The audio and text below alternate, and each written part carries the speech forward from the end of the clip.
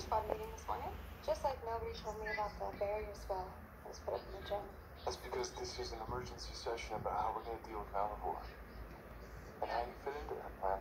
And I'm all ears. Plan away. Not my plan.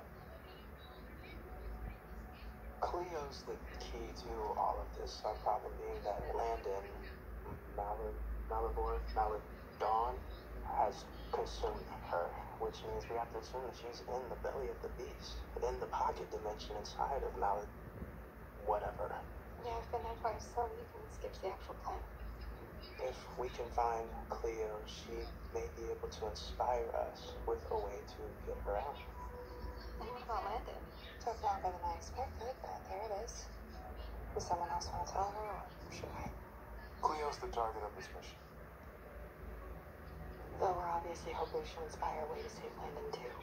Okay, and how do we get inside Malivore besides him beating us? Malivore thinks that being inside of Landon's body is protecting him. But the way I see it, that's his greatest weakness, which Kaleb and I can exploit with our vampire strength. The exhaust port on the Death Star. Exactly.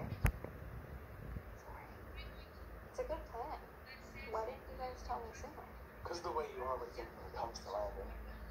Don't get us wrong, you're our best friend, no doubt. But we get one shot at this hope. We can't have you going off the rails and blowing everything up. I wouldn't do that. Is that seriously what you guys think? We know you. Hope. Why we put up the barrier spell in the place. We thought maybe you should set this one out. I'm totally on board. Cleo is our best chance to bring both her and Landon back. I would never jeopardize that.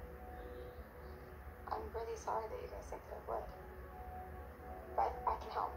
It will help, so please just to.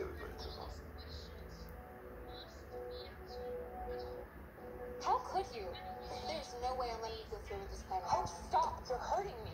Because we're even. Because you always voting against me hurts me too.